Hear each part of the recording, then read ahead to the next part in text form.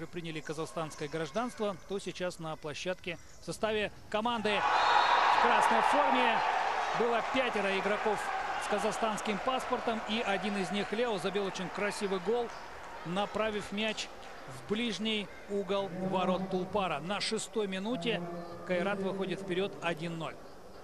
кездесудің алтыншы минуты аяқталар тұста лео тамаша соққысымен есепті ашып отыр бұл жерде жеке енді қайрат қорғанысқа ұмтылу керек болинияның соққысы бірақ бұл жерде игита қайтарған бұрыштама екінші бұрыштама бар командасы қазір орындайды серік жаманқұловты бұл жерде өтіп барып соққы жасаған екен. Алма қайраттың шабуылы соққы бірақ аксентеевич бұл жерде бұл соққына ешбір қиналмастан қайтара білді. Тұлпарда бұндай мүмкіндік жоқ.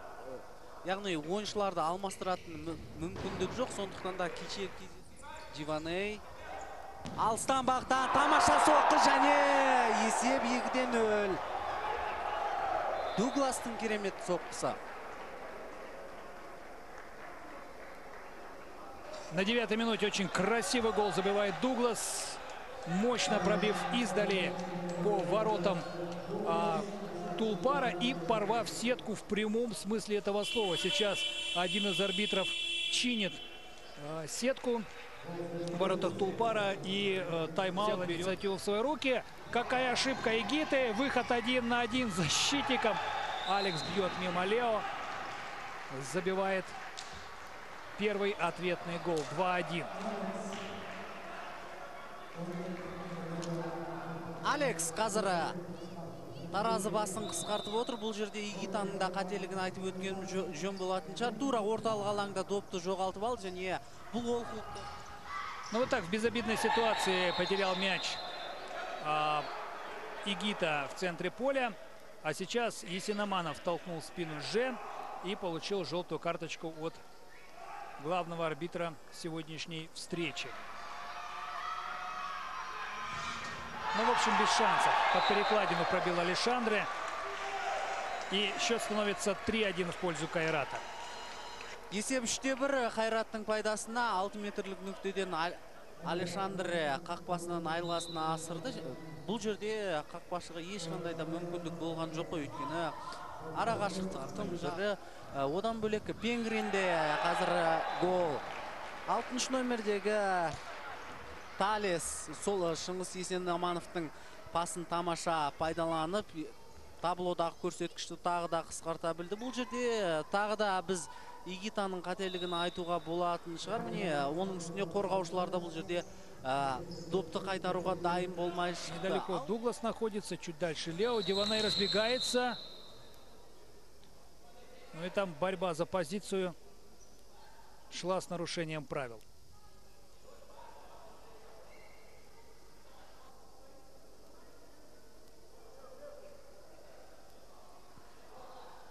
Өкінішке қарай диваней бірінші мүмкіндігінде бұл айыпты. Аксентеевич дер кезінде қақпадан шығып үлгерді қазір шыңғыс есенаманов.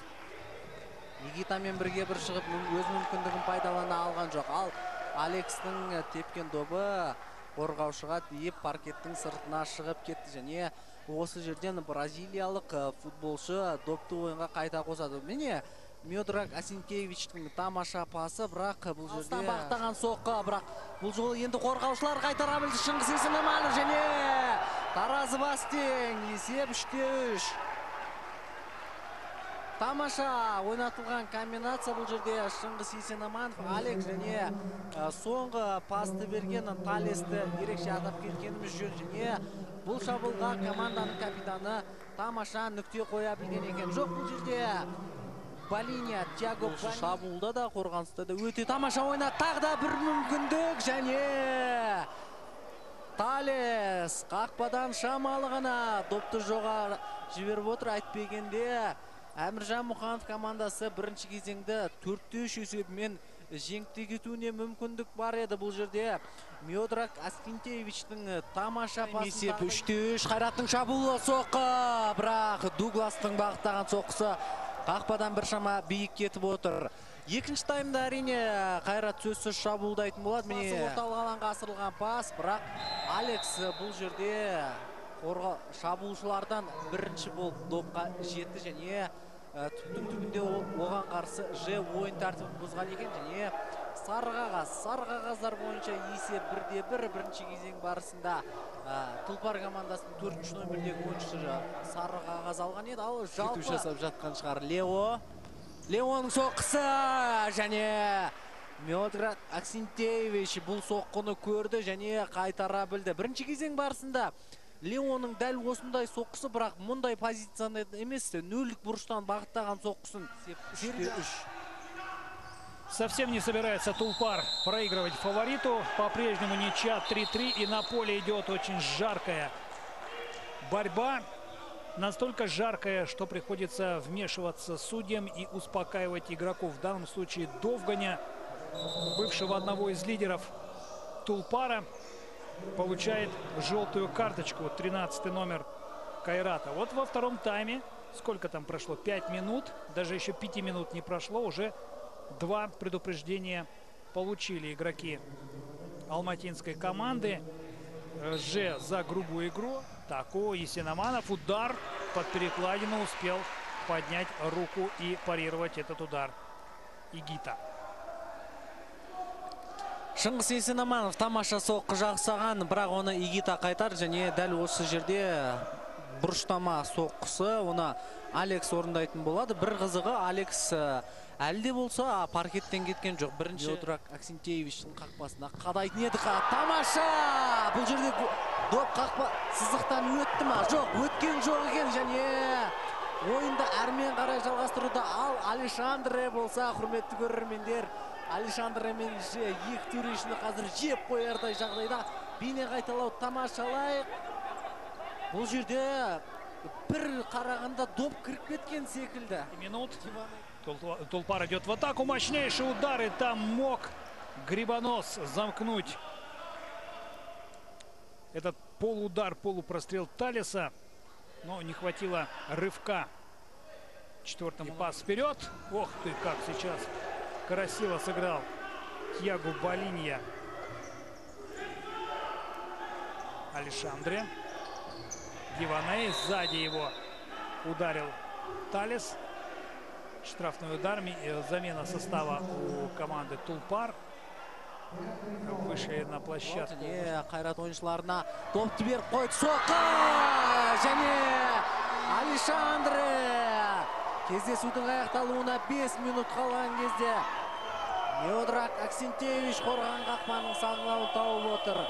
4-те 3 финалдық матчта Қайрат тағы да алға шығып отыр дегенмен әлі де ойын аяқталған жоқ. 5 минуттай уақыт бар. Өздеріңіз жақсы білесіздер. Бірінші кезең барысында тіпті қайрат екіде нөл есебімен жеңіп тұрған кезде де бұрын қайрат ол кезде уефа кубогының жеңімпазы еді. Фол бұл алтыншы фол болу керек. Құрметті көрермендер қазір қақпаға еркін соққы қойылады. Дәл солай нүктеде лео. Онсыз да жеңіліп жатқан тұлпар қазір өз қақпасына айып соққысын белгілеп алды. Енді әрбір дәл осындай фол үшін бұл Меодрак Аксентеевич қорғаған қақпаға айып соққысы белгіленіп отыратын болады. Нүктеде Лео. Қазір көреміз қоянның қашу дұрыс бола ма мылтықтың атыру атылуы дұрыс бола ма? Сонымен Лео және есеп бесте үш. Ал кездесудің аяқталуына 2 минут 21 секунд қалды. Әрине, тұлпар толығымен жеңіл деп айта алмаймыз. Әлі де бұл команданың мүмкіндігі бар. Оның үстіне Әміржан Мұханов қазір қақпашын алып ол мейлі үлкен футболдағы болсын мейлі кішкентай футболдағы болсын алишандренің соққысы бірақ қақ ол тепкен доп қақпаның бағанына тиіп кері қайтты міне какауда қазір әміржан мұхановтан қалан ба деп қақпашының орнына. Талес. Талестің орталық алаңға асырылған пасы лео және есеп алтыда үш. Қазақстан құрамасының шабуылшы бос тұрған қақпаға допты оп оңай ғана асыра салды. Сонымен бүгінгі кездесудің де тағдыры толығымен шешілді деп айтуға толық негіз бар шығар. Өйткені кездесудің аяқталуына 55 қана секунд қалды. Бұл жерде тағы да талес қателесті. Екі бірдей ор- ойыншының ортасынан кесіп берем деген еді. Бірақ өкінішке қарай бұл пасты жеңімпаз ал тұлпар болса алтыншы мәрте финалға шығып өтіп шығып оның үші- үшіншісінде жеңіліп отыр. Міне қуанып жатқан қайрат ойыншылары сіздердің назарларыңызда. Игита александре дуглас диваней лео дінмұхамед сүлейменов серік жаманқұлов. Бірақ бір